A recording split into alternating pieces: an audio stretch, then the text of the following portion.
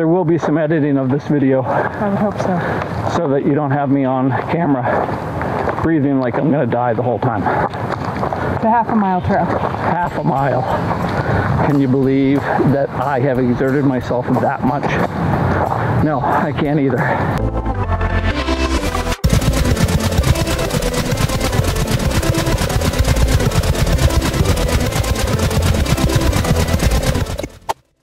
Here we are at birthday weekend. It's April 19 and my birthday is the 21st. And I'm walking right now at America's Stone Stonehenge. America's Stonehenge, if you can believe it. It's uh, here we go. Here's the sign.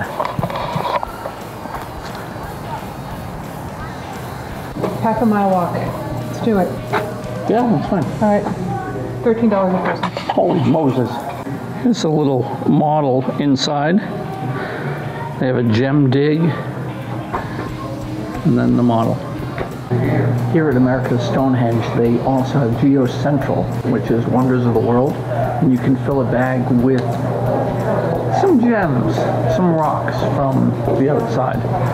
We have just watched the movie on America's Stonehenge. It's an active archaeology site, and research continues. Says take only pictures, leave only footprints.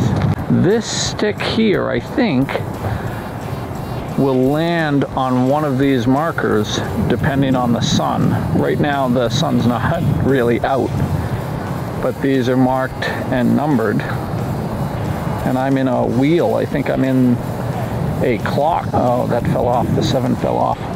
But this is the stone in the center, America's Stonehenge.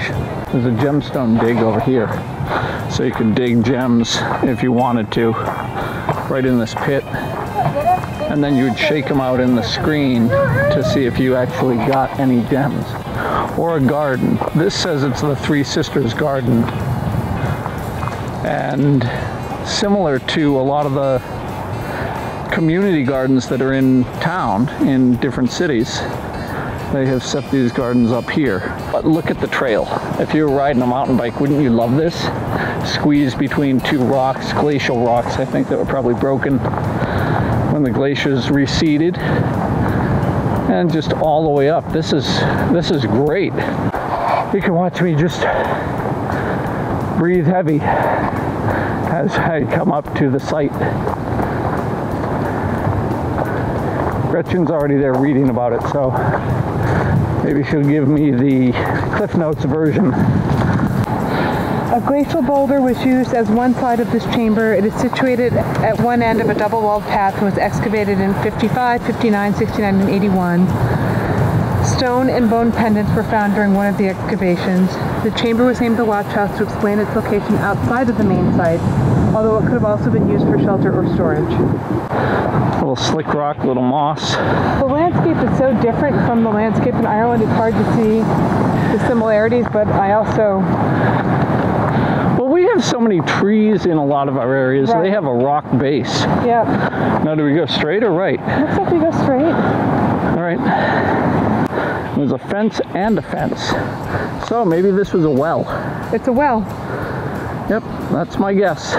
You guessed it all right. I like the idea of you being an aquaologist.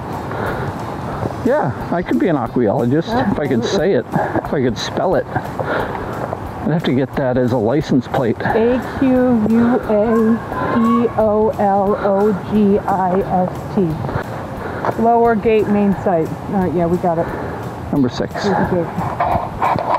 Walk through the gate you see behind us. Seven is right here, Oh, yeah, blocked off.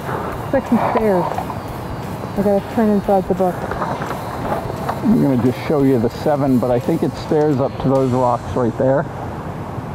I would don't know. definitely say this is not Stonehenge, but it's definitely It's henge of some sort. It's been habit. It's, it's a habitat.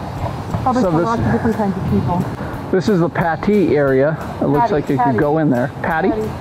Oh, Patty. And I don't know what that circle is, what these painted things are. That's where they sharpened their tools, according to them. Oh, okay. Tool sharpener. And that thing is where they made soap, according to the. And they made Paper. soap on that circle. I don't know how that works. I don't either. And then they have right under here Let's go down, ignore the fence if you can, but all the way underneath and all the way into the little house. And it actually looks like that stone we saw in Ireland. It does look like Ireland. We can go in here. I'm going to insert that photo of the stone in Ireland right here so you can see it. But it was up, wasn't the Cliffs of Moher. What was that area? With all shale rocks and, You're thinking of um, the Burren. yeah, it's in Yeah. the Burren. That's Yeah. where that rock was. Yeah. So here's that photo from the Burren. I'll insert it. If you want to read this right here, it's Jonathan Pattee used this area of the site for his house. And they sheltered people. They housed slaves who were broken out of their manacles. There were keys, They didn't house them, they sheltered them. sheltered them, sorry. And um, tried to avoid the quarry tax. Um, there's a lot of stuff right here. You can see the letters. There's a B, an F, a C, some more painted holes in that stone. I don't know what that was for, but it had a function, and we're just gonna keep rolling around, maybe walk through this tunnel. So hang on. Watch your head. Oh, it's so cool in here. Wait, go back. I want to take a picture of you. Oh, I was back. No, no, forward. Halfway through. Okay, I'm in. How's that? Hey. Probably a lot of snakes. But those markers on the wall indicate something. Looks like there's some mortar here too, so they may have done some work to hold this together. Uh, more recently than in the past. Instead of just stacking stones like this, it looks further over there like it's not spackled together, but a little cement of some sort. I had to summarize America's Stonehenge in one sentence. Yeah. I would say don't expect Stonehenge. Oh, look at this though. Look, we go that way. We're chained off, so we got to go back up. 13 is the south-facing chamber. Do they all go through? That's chamber, not tunnel. Yeah, little chamber. What they said in the video was that when the Pattee family bought this, or one of the families, they used it to shelter people who were indigent. Yep. So essentially, had like poor people living in these little chambers. Oh, all right. Well, it's it's sheltered anyway. Yeah, I guess so. This bridge, I don't think dates from the Neolithic or any other era. I love this right here, though. This is a little dicey. Coming in. 19 East-West Chamber. That's a nice place. You can hear the echo. Hello. Oh, and another one. This is like, this is better than some of the condos I've seen lately. Really good. Oh, and then this wall is good too. When they tried restoring the wall. Yep. It looks like it's uh, been put back fairly neatly. This is really crazy. 1400 BC. Yeah. This rock right here is all wet, so be careful. Yep. Oh yeah, there's another little 27 Yep. deck chamber. Yep.